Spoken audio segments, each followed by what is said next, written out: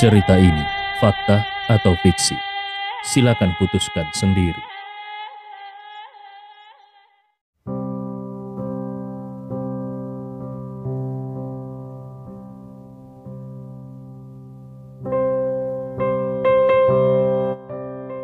Saat ini Fania bertanya, "Kakek, apakah kita perlu membawa hadiah?"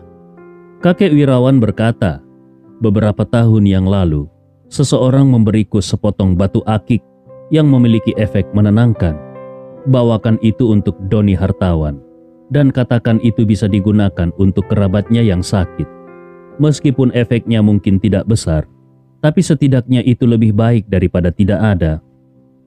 Fania mengangguk dan berkata, "Baik, kakek, aku mengerti." Sesudah itu, kakek Wirawan berdiri dan berkata kepada Fania, "Fania, ikuti aku." Fania bingung, tetapi dia segera berdiri dan berkata, "Baik, kakek." Kemudian dia mengikuti kakeknya ke ruang kerja kakeknya. Di ruang kerja, kakek Wirawan duduk di kursi kayu merah dengan tangan bergetar.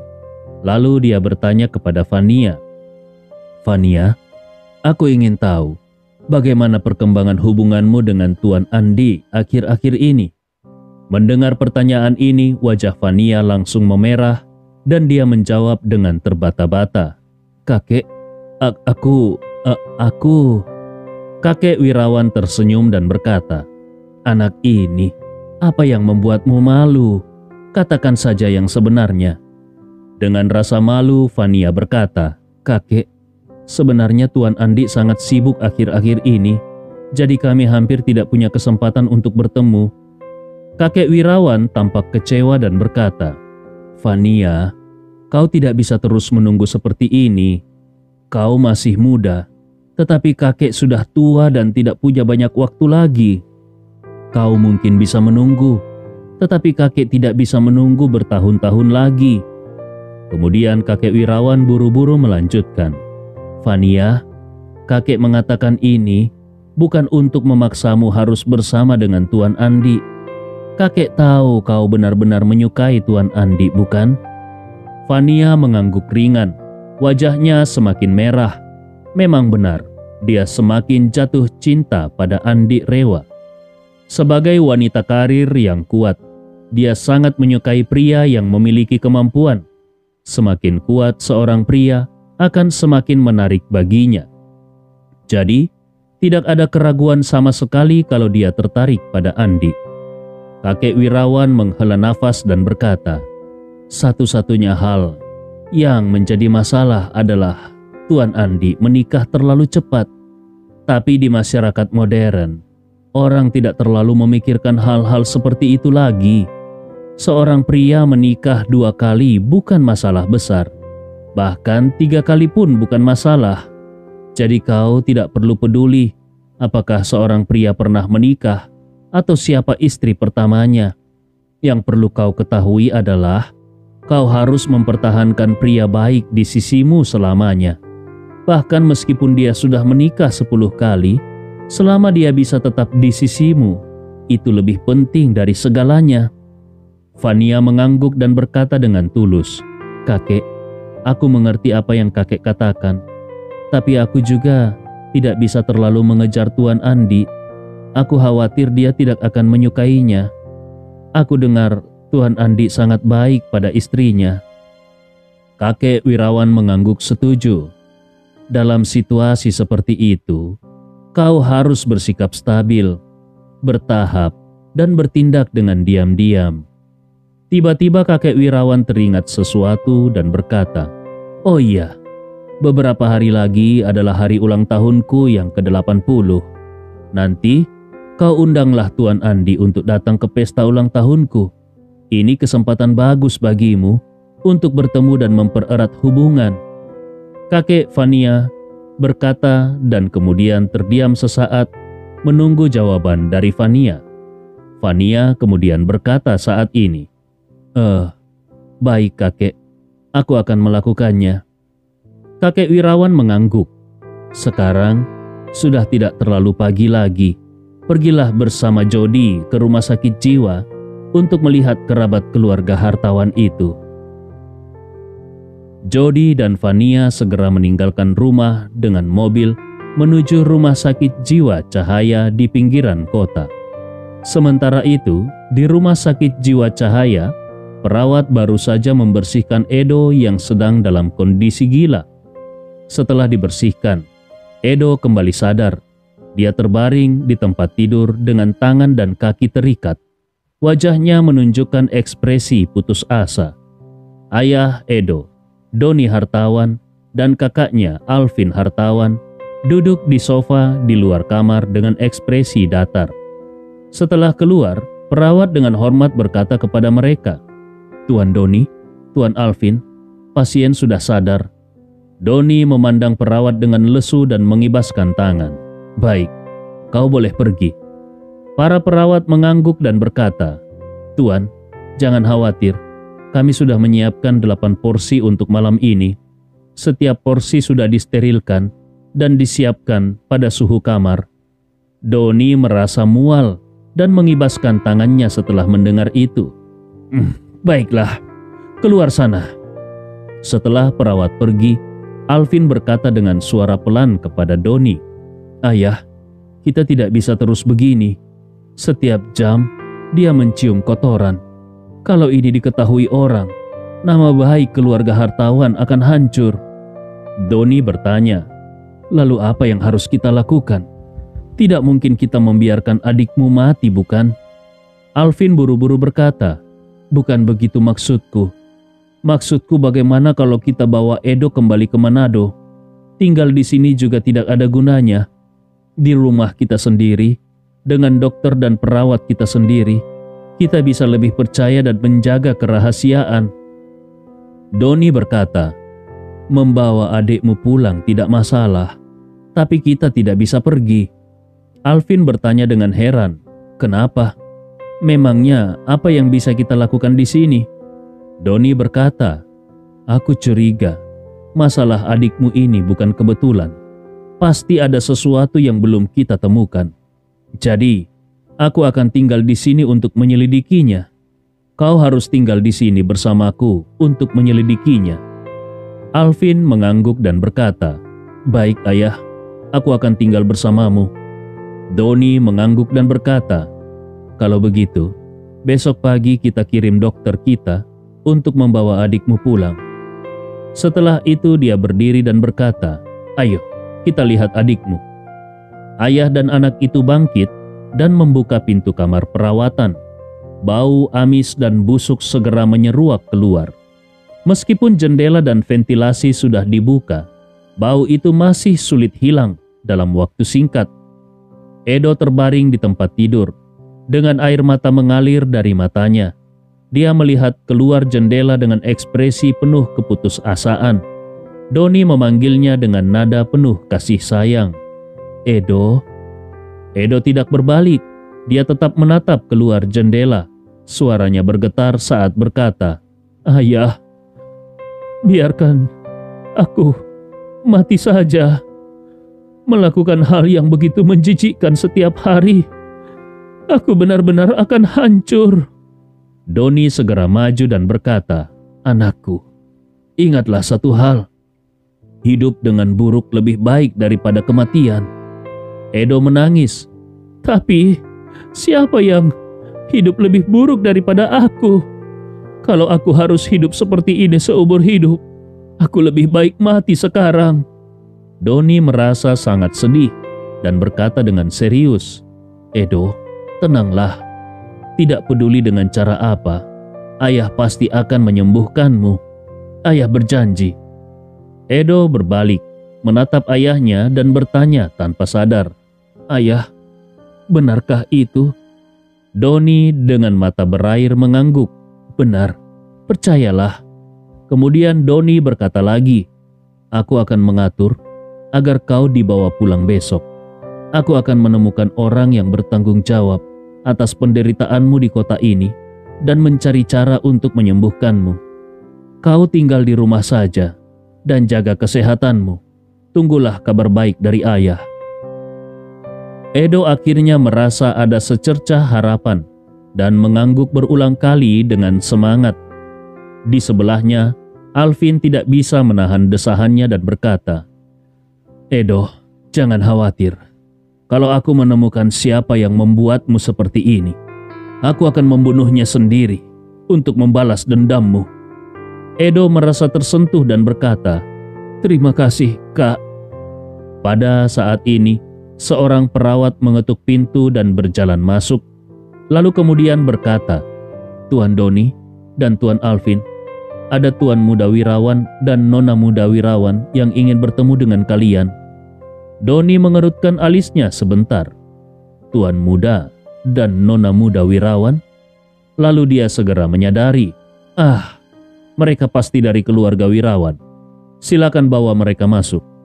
Setelah itu dia buru-buru menambahkan, bawa mereka ke ruang tamu di luar, jangan bawa ke kamar ini. Perawat mengangguk dan pergi. Alvin bertanya dengan heran, Ayah, apakah orang dari keluarga Wirawan datang? Doni menjawab, sepertinya begitu. Kita datang ke Makassar untuk urusan ini dan belum sempat mengunjungi keluarga Wirawan. Mungkin mereka sudah mendapat kabar sehingga datang lebih dulu. Alvin mengangguk. Pikirannya tiba-tiba teringat pada Fania, putri tertua keluarga Wirawan. Terakhir kali dia bertemu Fania adalah tiga atau empat tahun yang lalu. Saat itu Fania sudah sangat cantik. Saat itu dia sudah memiliki niat untuk mengejar Fania. Bagaimanapun juga, Fania tidak hanya cantik, berpendidikan tinggi, dan berkemampuan, tetapi yang lebih penting keluarga Wirawan juga cukup kuat dan sangat cocok bersanding dengan keluarga hartawan. Namun pada saat itu, dia masih menyelesaikan pendidikannya, jadi tidak punya waktu untuk mengejar Fania. Setelah kembali ke negara asal, dia sibuk mengurus bisnis keluarga sehingga tidak sempat datang ke Makassar untuk mengejar Fania. Jadi keinginannya itu tetap terpendam di dalam hatinya. Sekarang, ketika dia mendengar bahwa orang dari keluarga Wirawan datang, perasaannya terhadap Fania kembali berkobar. Dia berharap salah satu dari dua orang yang datang itu adalah Fania. Ketika perawat membawa Jody dan Fania ke ruang tamu di luar kamar perawatan, Doni dan Alvin baru saja keluar. Alvin langsung melihat Fania yang anggun dan cantik luar biasa. Dia terkejut selama beberapa detik, sampai dia tidak bisa berkata apa-apa. Doni juga tidak bisa menyembunyikan rasa kagumnya saat melihat Fania. Sebagai seseorang yang lebih tua dari Fania, dia jarang berinteraksi dengan Fania dan sudah bertahun-tahun tidak bertemu. Tidak disangka, gadis ini semakin cantik dan mempesona, tidak kalah dengan bintang film terkenal. Saat ini Jody berbicara dengan hormat. Halo, Paman Hartawan. Aku Jody Wirawan dari keluarga Wirawan.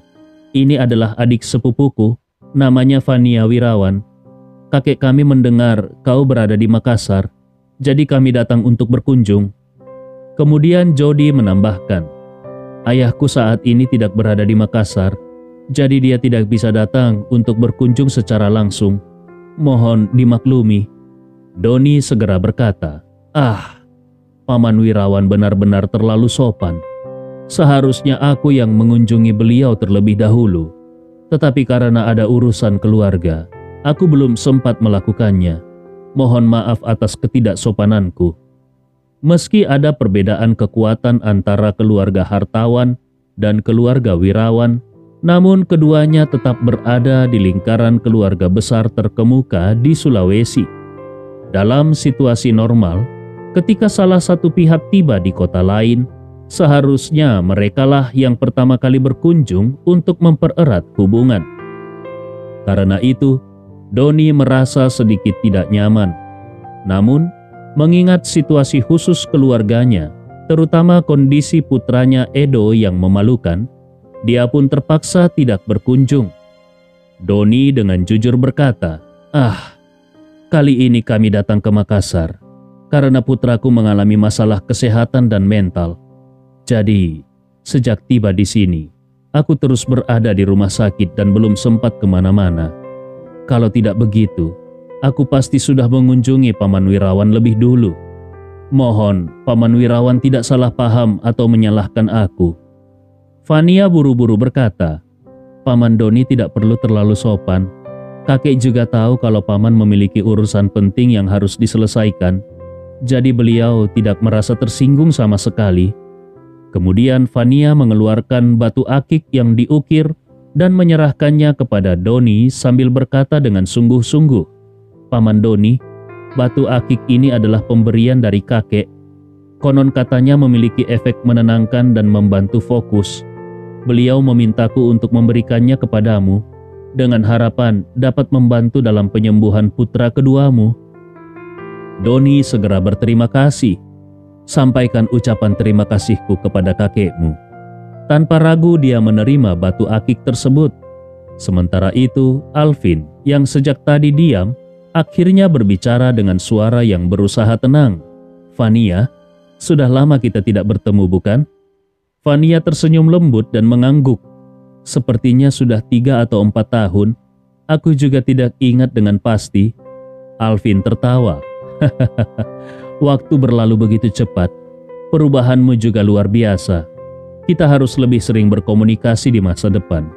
Kalau tidak, dua tahun lagi kita mungkin tidak akan saling mengenali saat bertemu di jalan. Fania dengan sopan berkata, Iya, kita sudah begitu lama tidak bertemu. Memang banyak yang berubah. Doni yang melihat sikap Alvin dengan cepat menyadari bahwa putranya tertarik pada Fania. Dalam sekejap dia membayangkan betapa sempurnanya kalau Fania bisa menjadi menantu keluarganya. Keluarga besar di Sulawesi cukup banyak dan ada banyak anak perempuan yang sedang dalam usia menikah.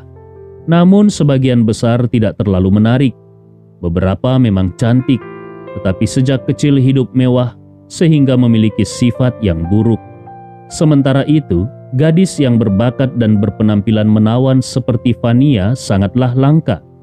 Kalau keluarga hartawan dan keluarga wirawan bisa menikah, itu akan menjadi aliansi yang sangat kuat dan saling menguntungkan.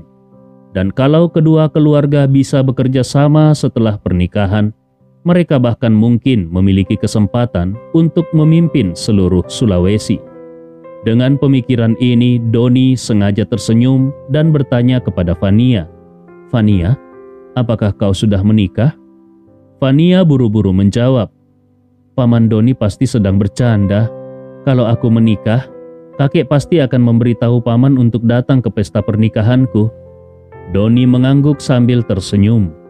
Di dalam hatinya dia berpikir kalau Fania ini sangat cerdas dan pandai berbicara.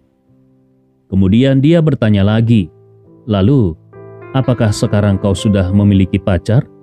Kalau sudah, putra dari keluarga mana yang beruntung itu? Alvin yang mendengar pertanyaan ayahnya, segera mendengarkan dengan penuh perhatian. Dia berharap-harap cemas mendengar jawaban Fania. Pada saat ini Fania langsung teringat pada Andi. Seandainya Andi belum menikah, betapa bagusnya itu. Dia mungkin sudah mengungkapkan perasaannya sejak lama, dan sebagai seorang perempuan yang cukup unggul, dia yakin Andi tidak akan menolaknya. Dengan begitu, ketika ada yang menanyakan pertanyaan seperti ini, dia bisa dengan bangga dan malu-malu mengatakan, "Pacarku adalah Andi Rewa." Memikirkan hal ini, Fania hanya bisa menghela nafas dalam hati lalu berkata, "Paman Doni, aku belum punya pacar." Doni dan Alvin merasa lega mendengar jawabannya. Belum punya pacar, itu sangat bagus. Seorang gadis seperti Fania benar-benar sangat langka. Kalau Fania masih lajang, maka peluang Alvin untuk mendekatinya sangat besar. Doni segera berkata kepada Fania, Fania, setelah kalian kembali nanti, tolong beritahu Paman Wirawan kalau aku telah mengatur penerbangan besok untuk membawa putra keduaku pulang untuk perawatan. Aku dan Alvin akan tinggal di sini untuk menyelidiki lebih lanjut. Jadi besok kami akan mengunjungi keluarga kalian. Fania mengangguk dan berkata, Baik, Paman Doni, aku akan memberitahu kakek. Doni berpikir bahwa kalau mereka harus tinggal di Makassar untuk sementara waktu, mereka bisa tinggal di rumah keluarga Wirawan. Sebagai tuan rumah, keluarga Wirawan seharusnya menawarkan tempat tinggal, dan ini juga akan memberi Alvin kesempatan untuk lebih dekat dengan Fania.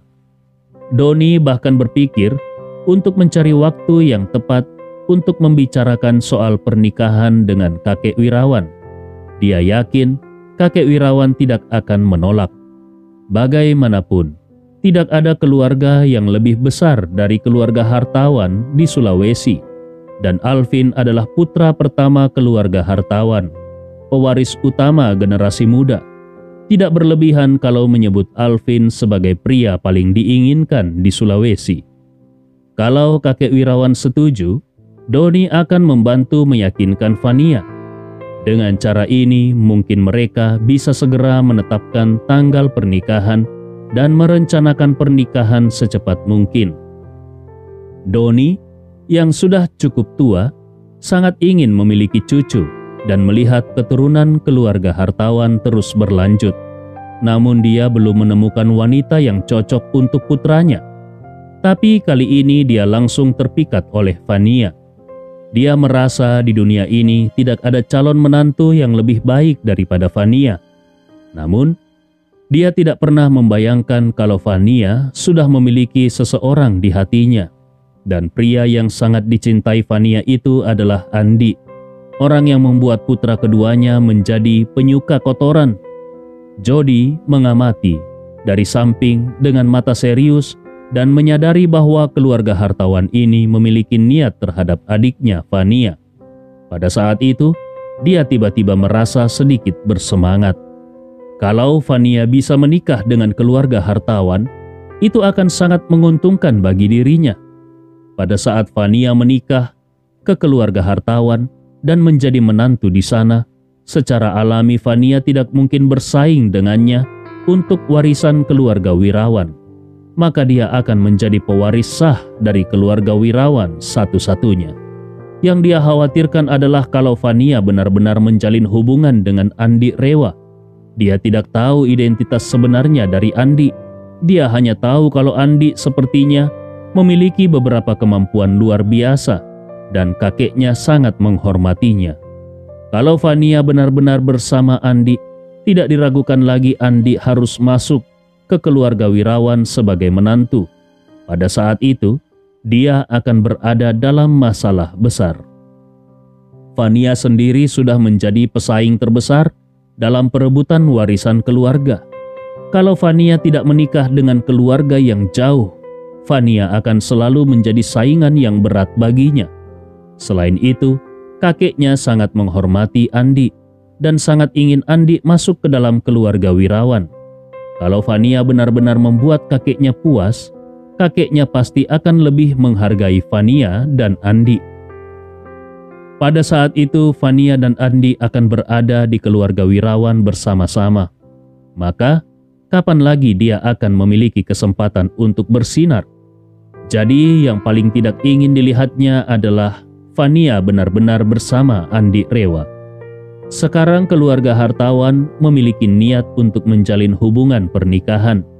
Yang perlu dia lakukan adalah mencari cara untuk meyakinkan kakeknya dan Fania untuk menerima keluarga hartawan dan segera mengirim Fania pergi. Fania tidak menyadari niat keluarga hartawan. Setelah berbasa-basi dengan keluarga hartawan, dia melihat kalau waktu sudah larut dan berpamitan untuk pergi. Doni dan Alvin mengantar mereka hingga ke lantai bawah. Melihat mereka masuk mobil dan baru setelah mobil itu pergi jauh, Doni pun menghela nafas dan berkata, Hah, Fania adalah gadis yang luar biasa. Alvin di sampingnya juga mengangguk dan berkata, Aku benar-benar tidak menyangka, kami baru beberapa tahun tidak bertemu dan sekarang dia menjadi lebih cantik. Doni berkata dengan serius, kecantikan hanya nomor dua. Latar belakang keluarga, pendidikan, dan keanggunan adalah yang terpenting. Dia melanjutkan kembali, Fania tidak memiliki kekurangan dalam hal-hal tersebut. Kalau kau bisa menikah dengannya, itu benar-benar pilihan terbaik untukmu. Alvin tertawa kecil dan berkata, Kalau begitu, ayah harus membantuku. Orang tua Fania sudah meninggal. Kita harus mendekati dari sisi kakeknya. Doni tersenyum dan berkata, Jangan khawatir tentang itu. Ayah tahu apa yang harus dilakukan. Aku yakin kakek Wirawan juga sangat ingin Fania menikah dengan keluarga baik dan keluarga kita adalah pilihan terbaik. Dia menambahkan, kurasa kalau aku membicarakan hal ini dengan kakek Wirawan, dia pasti akan segera setuju dan mulai membujuk Fania. Kalau berjalan lancar, kita bisa menyelesaikan perjodohan dalam waktu satu bulan. Alvin berkata dengan semangat, bagus, akan lebih baik kalau kita bisa mengadakan pernikahan tahun ini. Pada saat ini Alvin hanya memikirkan Fania dan sepenuhnya melupakan saudaranya yang malang. Ketika kembali ke kamar rumah sakit, Edo kembali kehilangan kendali. Doni masuk untuk melihat sebentar dan keluar dengan wajah gelap. Sementara Alvin bahkan tidak ikut masuk. Dia duduk sendirian di sofa luar dan melihat-lihat akun sosmed Fania. Sebelum datang ke Makassar, dia tidak terlalu memperhatikan Fania yang tidak bertemu selama beberapa tahun. Tetapi pertemuan sebentar tadi telah sepenuhnya menyala di dalam dirinya dan membangkitkan keinginannya yang terdalam terhadap Fania. Jadi pada saat pertama kali itu, dia ingin melihat semua foto yang ada di akun Fania. Dia mengamati setiap foto yang ada dengan saksama sambil memikirkan di dalam hatinya. Memang Fania benar-benar seorang gadis yang langka. Tidak bisa ditemukan cacat sedikit pun di seluruh tubuhnya. Karena itu dalam hatinya dia bersumpah, tidak peduli apa yang terjadi, dia pasti akan mendapatkan Fania. Di perjalanan pulang, Jody berkata kepada Fania, Fania, Kupikir Alvin tampaknya memiliki minat padamu. Fania hanya menjawab dengan datar. Oh, Jody bertanya dengan penasaran. Oh, kenapa responmu begitu dingin? Fania menjawab. Lalu, apakah aku harus bersikap sangat antusias kalau dia tertarik padaku? Jody bertanya lagi. Alvin juga tampan. Apakah kau tidak tertarik padanya sedikit pun? Fania menggelengkan kepalanya dan berkata, aku sama sekali tidak tertarik padanya. Bahkan bagiku, dia tidak layak menjadi teman. Dia paling hanya bisa dianggap sebagai kenalan. Jody dengan cepat berusaha meyakinkannya. Apakah kau bodoh? Keluarga hartawan memiliki kekuatan besar. Mereka adalah keluarga terkemuka, bahkan salah satu yang tertinggi di seluruh Sulawesi. Kalau kau bisa bersama Alvin, itu akan menjadi tambahan kekuatan yang luar biasa bagi keluarga kita. Fania berkata dengan sungguh-sungguh, Aku tidak tertarik kepadanya. Aku tidak akan bersama dengan seseorang yang tidak aku sukai, bahkan meskipun orang itu adalah orang terkaya di dunia. Jody terkejut mendengar jawaban Fania dan kemudian bertanya, Lalu, apakah kau benar-benar hanya menyukai Andi Rewa? Fania melihat Jody dengan sedikit malu-malu. Jody menghela nafas dan berkata, Hah, adikku yang baik, apakah kau bodoh? Kakek yang sudah tua membiarkanmu mengejar Andi dan kau benar-benar akan mengejarnya? Dia adalah seorang pria beristri. Ada apa denganmu? Kau adalah gadis terhormat di Makassar. Bagaimana mungkin kau bersama dengan pria seperti itu?' Fania dengan ragu-ragu berkata, Kakak, jangan terlalu khawatir tentang urusanku. Aku akan mengatasinya sendiri. Jody menghela nafas dan sambil berpura-pura sedih dia berkata, Hah, aku yang membesarkanmu. Aku benar-benar berharap kau bisa menikah dengan pria yang cocok untukmu. Dan pria itu juga harus belum menikah.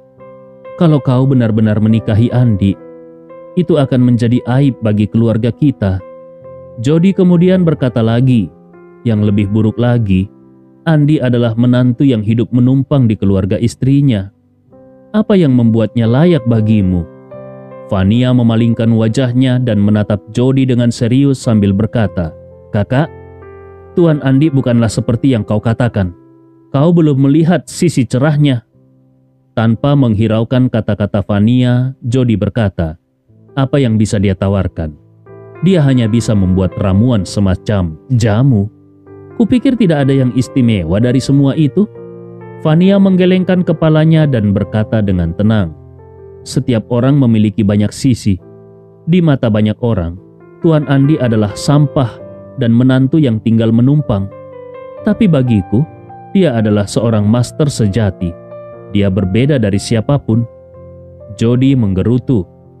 Apakah kau juga berpikir dia adalah kesatria terhebat di dunia ini? Aku benar-benar ingin tertawa.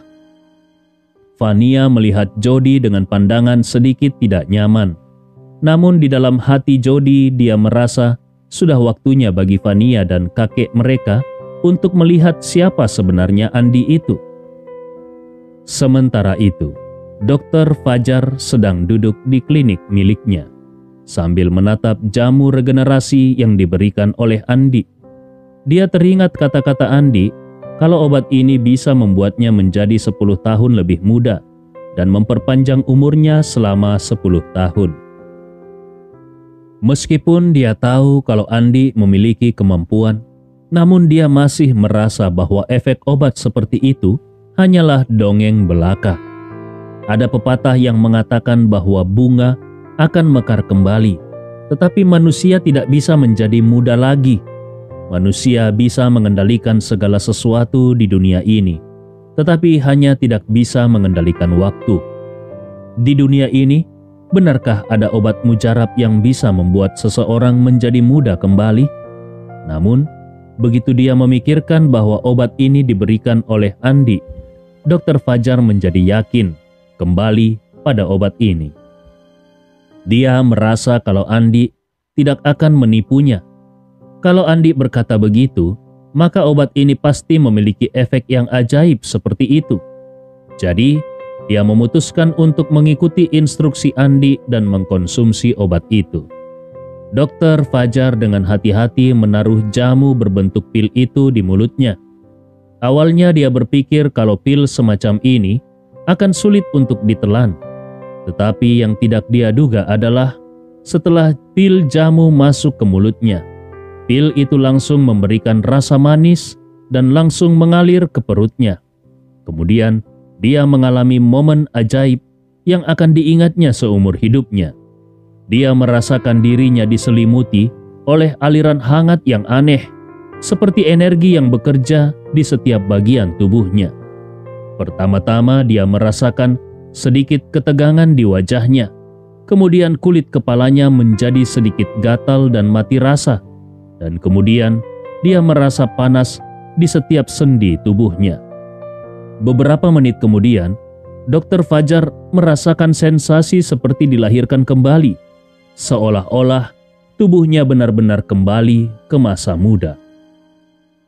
Dia secara refleks berdiri di depan cermin, dan ketika dia melihat dirinya di cermin, dia terkejut. Tidak heran dia merasa kulitnya sedikit tegang tadi. Ternyata kulitnya yang tadinya penuh keriput, sekarang jauh lebih kencang, sehingga terlihat lebih muda beberapa puluh tahun. Yang lebih menakjubkan lagi, rambutnya yang sebagian besar sudah beruban, tiba-tiba menjadi hitam lagi Tubuhnya yang sebelumnya agak bungkuk, sekarang bisa tegak, dan sendi yang sudah mengalami penurunan fungsi juga mengalami perbaikan besar. Dokter Fajar dengan cepat memeriksa detak nadinya sendiri, dan dia menemukan kalau nafasnya dan detak jantungnya telah meningkat secara signifikan. Ini berarti kalau dia bukan hanya terlihat lebih muda, namun tulang dan organ tubuhnya juga telah memperbaharui diri. Dokter Fajar tidak bisa mempercayai semua ini. Kalau kehidupan seseorang adalah seperti jam waker yang dikencangkan, maka energi dalam kekencangannya akan berkurang seiring berjalannya waktu. Hingga saat semua energi habis, jam waker itu akan berhenti berdetak. Sekarang, jam waker kehidupan Dr. Fajar telah diputar kembali dua putaran oleh tangan ajaib Andi Rewa. Ini berarti bahwa jam waker kehidupan Dr. Fajar bisa berputar dua putaran lagi. Bukankah ini sebuah keajaiban? Jamu seperti ini, kalau dijual, jangankan 100 juta, bahkan satu miliar pun akan diperebutkan oleh para orang kaya yang sudah tua. Apa gunanya menghasilkan banyak uang ketika seseorang sudah tua? Kalau uang bisa mengembalikan masa muda, Para miliarder yang memiliki kekayaan puluhan atau ratusan miliar pasti akan tanpa ragu menghabiskan setengah atau bahkan sebagian besar kekayaan mereka untuk mendapatkan tambahan umur 10 atau 20 tahun lagi. Ini benar-benar berlawanan dengan peribahasa, waktu yang hilang tidak bisa dibeli dengan seribu keping emas. Pada saat ini, Dr. Fajar menangis bahagia Bahkan dia menangis terseduh-seduh. Dia segera mengambil ponselnya dan mengirim pesan chat kepada Andi. Tuan Andi, aku sudah meminum jamu pemberianmu. Terima kasih banyak atas jamu pemberianmu itu. Aku bersedia berbakti dan mengabdi kepadamu dengan segenap jiwa raga. Andi menjawab dengan singkat. Yang penting jamu itu berhasil, tapi ingat, jangan beritahu siapa pun tentang hal ini, selain kepada Fani Membuat jamu regenerasi seperti itu membutuhkan tanaman herbal ungu berkualitas tinggi yang berumur 300 tahun. Jadi, jamu itu memang sangat berharga. Dr. Fajar memanggil cucunya, Fani, yang sedang menumbuk obat di sebelah. Dan ketika Fani melihat kakeknya, dia terkejut dan berkata, Kakek, apa yang terjadi padamu? Kenapa kakek terlihat jauh lebih muda? Ini persis seperti bagaimana aku mengingat kakek saat aku masih remaja. Dokter Fajar dengan penuh semangat berkata, ini semua berkat jamu yang diberikan oleh Tuan Andi. Tuan Andi mengatakan jamu itu akan membuatku 10 tahun lebih muda dan hidup 10 tahun lebih lama. Dan ternyata efeknya benar-benar ajaib. Fani juga tercengang dan berkata, Kakek, Bagaimana mungkin jamu itu memiliki efek yang begitu ajaib? Ini benar-benar luar biasa. Dokter Fajar dengan gemetar berkata, Sudah kukatakan, Tuan Andi benar-benar memiliki kemampuan yang luar biasa. Ini adalah sesuatu yang tidak bisa kita pahami. Aku sudah hidup sampai usia ini dan tidak pernah membayangkan bahwa kesempatan terbesar dalam hidupku adalah bertemu dengan Tuan Andi Rewa. Cerita ini fakta atau fiksi? Silakan putuskan sendiri.